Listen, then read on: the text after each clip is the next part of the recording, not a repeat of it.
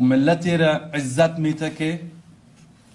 تلاشش و تصمیم و ارادش به این باشه که سرنوشت خودش را خودش رقم بزنه. و تا وقتی که ما و شما با خون خود درخت اسلام و آزادگی و عزت را آبیاری می‌کنیم انشالله که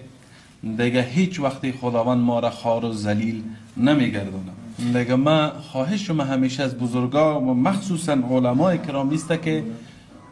تمام آرزوی ما و تمام تلاش ما به ایسته که چه خود چه جریان را چه کار سیاسی و چه هر پلان و برنامه ای که داریم این را برابر با شریعت و مطابق شریعت قرار بدیم ما هیچ کاری را بدون مشوره علما انجام نمیتیم و تمام سیاست گذاری ها با مشوره علما تا کار ما مطابق شریعت اسلام باشه. اگر کارای من با آسمان برسه اما در یک مخالفت دین باشه خدای میگم که اینم امروز خرابش می‌کنه. اگر که ما و شما صد سال سختی می‌کشیم اما در مسیر اسلام است میگم هر آنچه که خدای تقدیر تو سمور نصیب بگردن و هر چی که دستور